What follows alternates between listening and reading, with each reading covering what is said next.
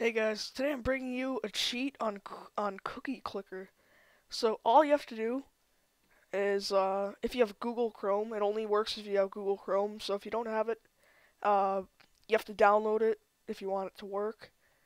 Uh, so when you open up the web page in Google Chrome, right click on the page and then hit Inspect Element, and then go over to Console, and then type in Game dot cookies space equals space and then how many cookies you want.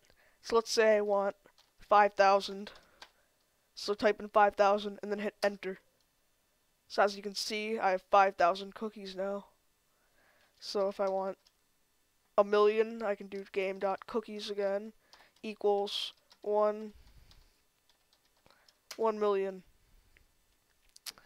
And then if you wanna if you wanna take your cookies away, you can do game.cookies equals and then you can just set it back to zero if you want.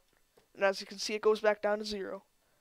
So if this works for you, make sure to hit that subscribe button to my channel. I upload really cool videos, gameplays, tutorials, and stuff like that. So make sure to hit that subscribe button.